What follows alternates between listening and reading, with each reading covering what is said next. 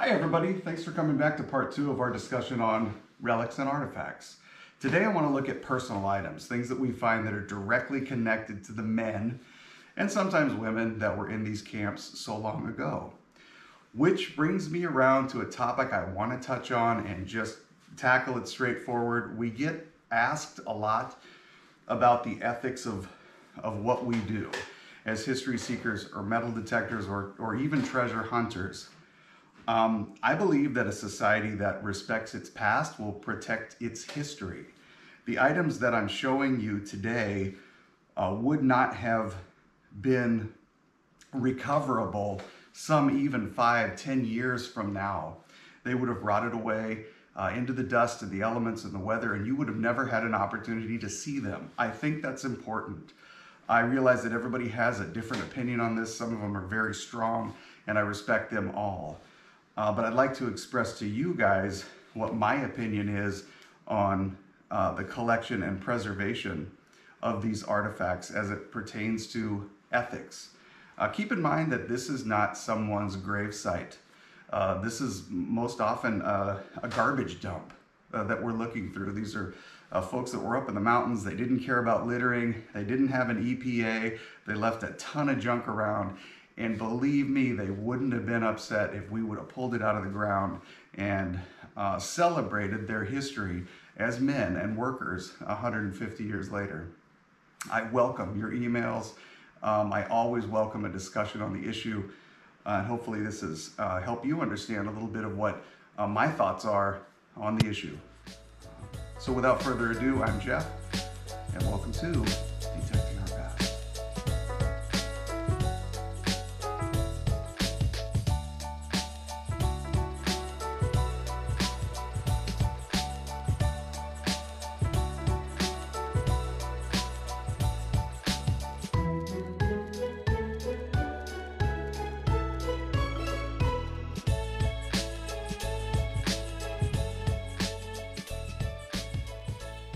Okay, in part one, we talked about some of the glassware that we had found, and one of the great relics that I just cherish is this beautiful inkwell and pen uh, that we found at a site that we have referred to as the commissary.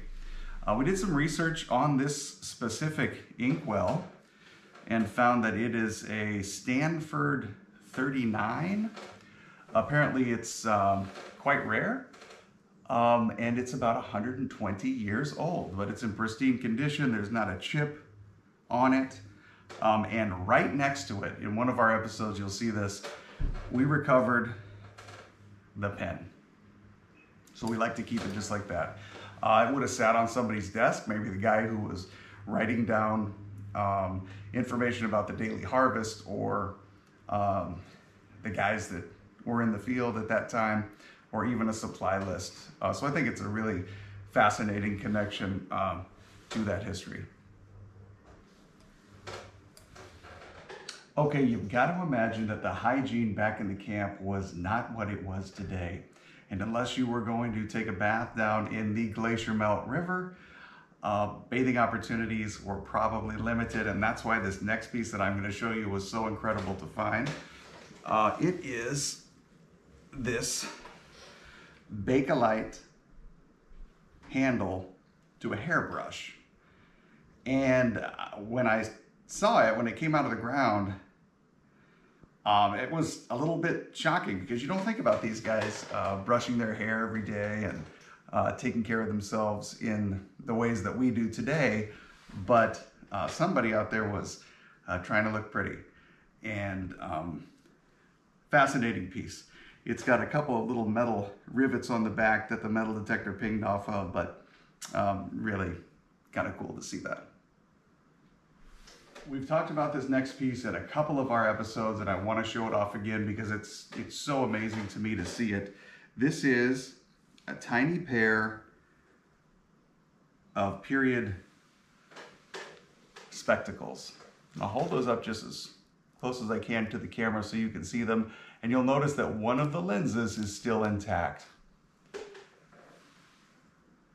It's almost a surreal experience to have seen these guys staring back up at me out of the ground. like a face from so long ago. But truly an amazing uh, piece of uh, history. And uh, as I look through the lens, there's not much of a prescription to it, uh, just slightly. So um, just a beautiful piece of, of history that, that would have otherwise just rotted away uh, into oblivion.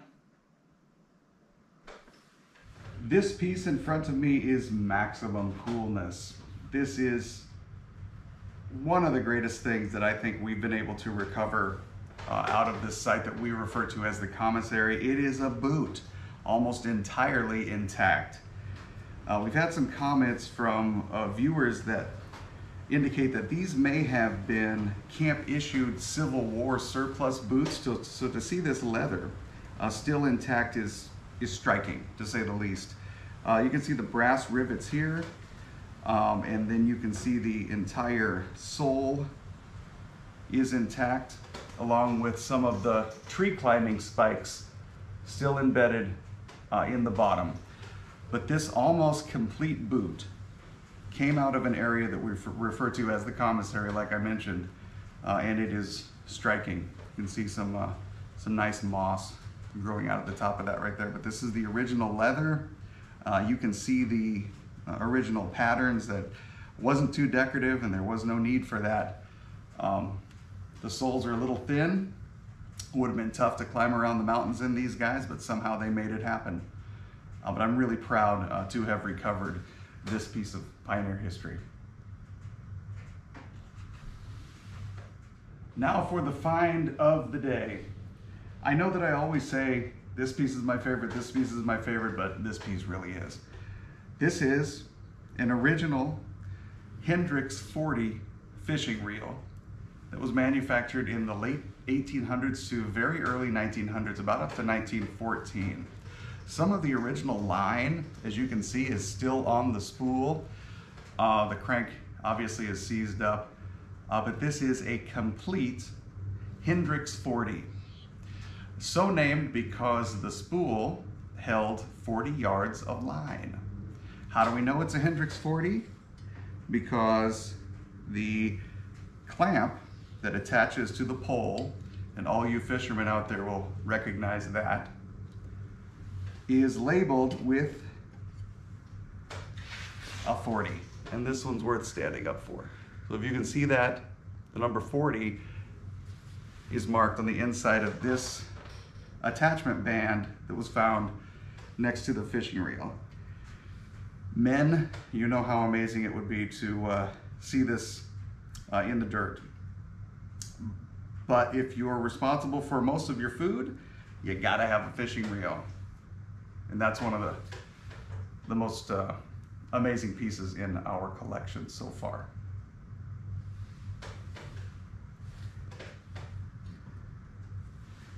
I want to show you now one of the uh, points of pride in our collection. It is this completely intact silver-plated pocket watch that we found early last season at this area we call the trading post.